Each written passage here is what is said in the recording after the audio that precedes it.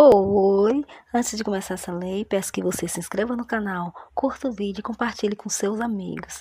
Estamos sempre postando vídeos novos, então deixe nos comentários sua sugestão de lei. Agora vamos ao vídeo.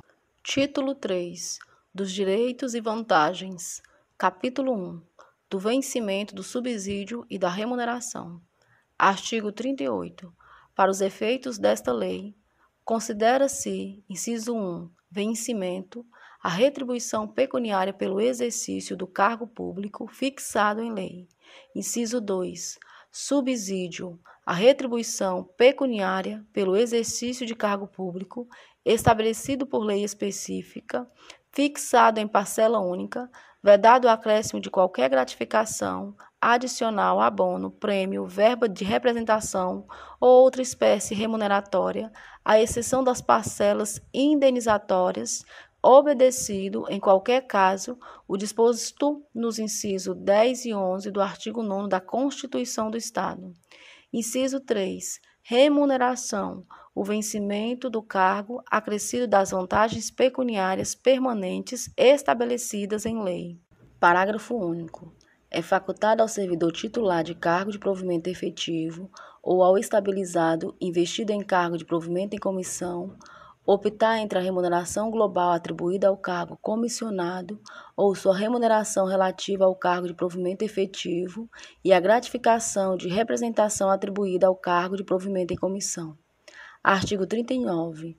Nenhum servidor da administração direta, indireta ou fundacional de qualquer dos poderes do Estado pode perceber mensalmente, inciso 1, a título de subsídio, remuneração ou provento, importância inferior ao salário mínimo. Inciso 2. Importância superior ao estabelecido nos incisos 11 e 12 do artigo 37 da Constituição Federal. Artigo 40. O servidor perde, inciso 1, o subsídio ou a remuneração do dia em que faltar ao serviço sem motivo justificado.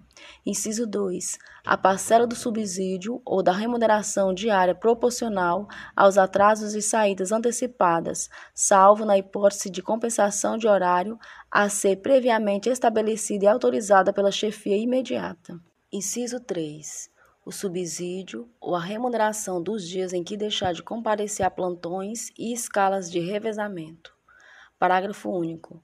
As faltas justificadas nos termos desta lei não afetam a remuneração ou subsídio do servidor. Seção única dos descontos legais.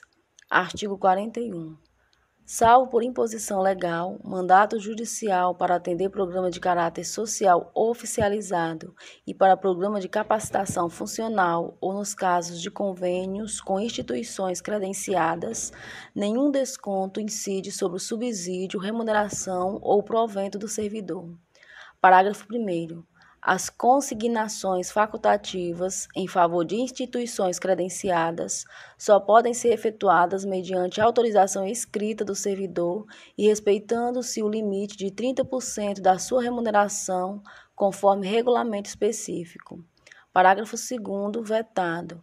Parágrafo 3 o Poder Executivo poderá ampliar as margens consignáveis dos servidores públicos civis ou militares ativos ou inativos, junto às instituições financeiras e a outras entidades consignatárias devidamente autorizadas.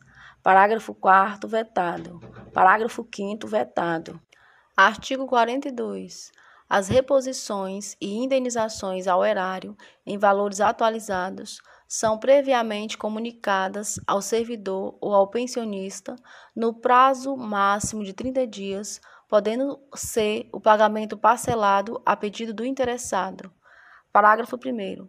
Para o disposto nessa lei, considera-se, inciso 1, reposição, a devolução aos cofres públicos de quaisquer parcelas recebidas indevidamente pelo servidor.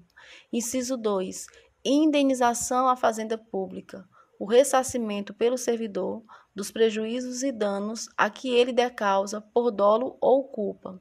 Parágrafo 2 a reposição é feita em parcelas cujo valor não exceda a 10% da remuneração, provento ou subsídio. Parágrafo 3 A indenização é realizada em parcelas cujo valor não exceda a 10% da remuneração, proventos ou subsídio.